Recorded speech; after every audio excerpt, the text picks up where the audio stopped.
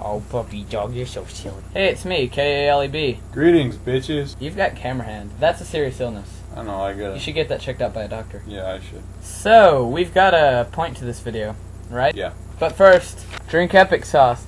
Epic sauce. Suck my dick. I don't know. But anyways, comment below and tell me if this would be a legitimate drink. So anyways, we have a point to this video and here it comes. It's dog prostitution awareness. It's not funny. Not at all. You see Riley here? He used to be a dog prostitute. But ever since that day that he quit, he has not been able to not be a prostitute. Ed, stop jacking off the dog! Alright. Dog prostitution awareness. It's not funny It is not funny. at all. I'm glad I didn't open my mouth. Ed, where'd you get that scar on your arm? Uh,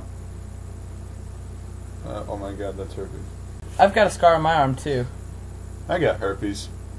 Dude, we're like scar brothers. No, I'm herpes. Backing off the dog makes the dog vibrate, okay? Hey Riley, you wanna give me sex for money? Dog prostitution. It's not funny. It's not funny. Not at all. Check out this vacuum. That looks extremely sexual. Yeah, it's called Kaleb's Vacuum. Suck it. That's the slogan. I'm pleasuring myself to the dog. Dog prostitution. It's not funny. It is hilarious. Subscribe Favorite? and don't press the flag. Where's the flag? Comment down below. Send me your questions because that's always fun. I love Ask us anything. Like, what's your favorite kind of fungus?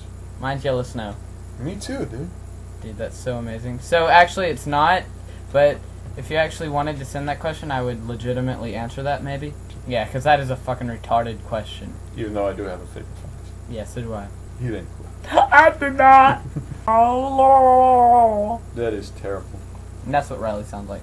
Riley, you're a silly dog. You're a retarded dog. So, anyways, subscribe, favorite, comment, question. Bye, you guys. Later.